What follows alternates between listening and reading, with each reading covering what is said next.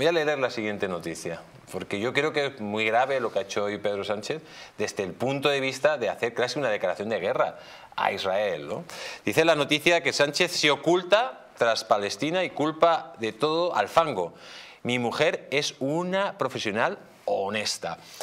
Bueno, la primera, primero le voy a preguntar, ¿usted cree que la mujer de Pedro Sánchez es una profesional honesta? Bueno, lo que yo creo en este sentido es bastante irrelevante en comparación a lo que considere el juez y a lo que, lo que consideren los, los agentes de, la UCO. La gente sabe bien que todo esto parte del caso Coldo que iniciamos nosotros junto a tres agentes eh, precisamente de la Unidad Central Operativa y saben perfectamente que si nosotros, te pongo un ejemplo muy claro, yo que voy a ser parte personada como víctima porque se gastaron 25.000 euros del dinero de comisiones robadas a todos los españoles, no tenía el informe de la solo lo tenía el juez y ahora, por lo visto, ha dicho Pedro Sánchez que él también lo tiene y que ese, ese informe dice que su mujer es una santa.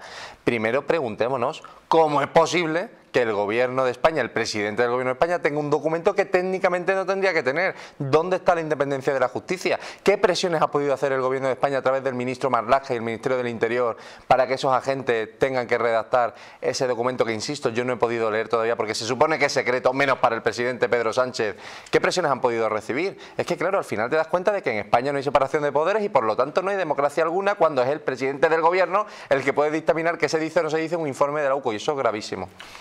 Ayer, bueno, ayer estuvo María Montero de Cierre Digital hablando de que Manos Limpias ha pedido directamente la expulsión eh, del fiscal del procedimiento, que es algo inaudito. Eh, también ha pedido un contrainforme de la UCO y también ha pedido eh, que lógicamente haya una auditoría de ese informe de la UCO y además que haya una pieza separada, porque claro, aquí estamos hablando de un delito de revelación de secretos totalmente. De revelación de secretos y, también de, intentar manipular un procedimiento judicial. Es que esto es gravísimo. La gente, bueno, pero es que España nunca será Venezuela ni, ni bueno, pues es que no, no es que nunca será, es que ya lo es. Porque tú le cuentas esto a cualquier español hace 5 o 10 años no hubiéramos llevado las manos a la cabeza. Ahora entendemos la reforma legal que quería el señor Pedro Sánchez para que fueran los fiscales y no los jueces los que determinaran las instrucciones judiciales en este país. Porque claro, si tú controlas a, los fiscales y controlas también eh, las instrucciones de los casos que te competen por corrupción a ti, a tu partido político, a tu mujer, obviamente vas a poder controlar